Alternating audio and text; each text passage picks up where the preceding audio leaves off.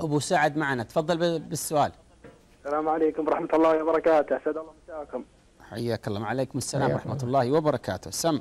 السؤال الأول الله يوفقنا وإياك. ما حكم متابعة آه، القنوات مثل الجزيرة الوثائقية والعربية والأماكن الدراما اللي هي قناة البدو؟ هل متابعتها حرام أو حلال أو زي كذا يعني؟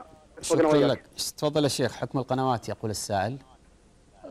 القنوات التي فيها فائدة ومصلحة دينية وتستفيد منها في دينك لا بأس تتابعها أما القنوات التي ليس فيها مصلحة أو فيها مضرة فاتركها وتجنبها.